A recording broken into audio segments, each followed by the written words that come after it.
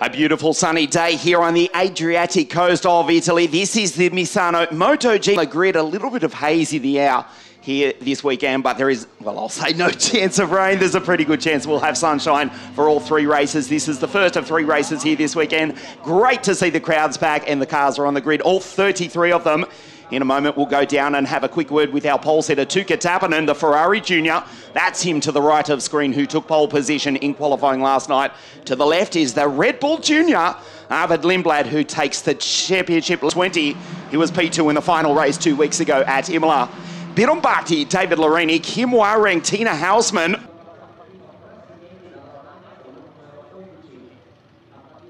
Manuel Quantum Carlo slots into position just ahead of Ismail Ahmed. That was Lucchetti and Porter at the back of the pack out of grid 33.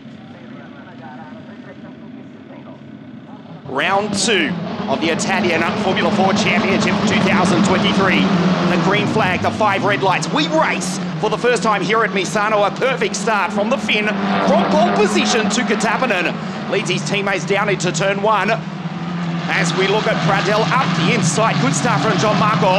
Buddy he pulls it to Taponen. Lindblad looking to lead on the very first lap. Up and over big time. Huge crash for Tina. And she's okay. Just getting back, this is the new... Both drivers are fine. Second time today, we race green. Taponen, Lindblad, and Jimmy James in position three. Good start from Brando in P5.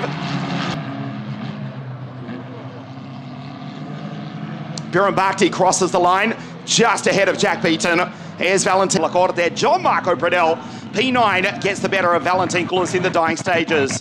Dominguez, spinner from grid 20. Egozi beaten Birombati. Frassinetti, what a comeback for the BVM.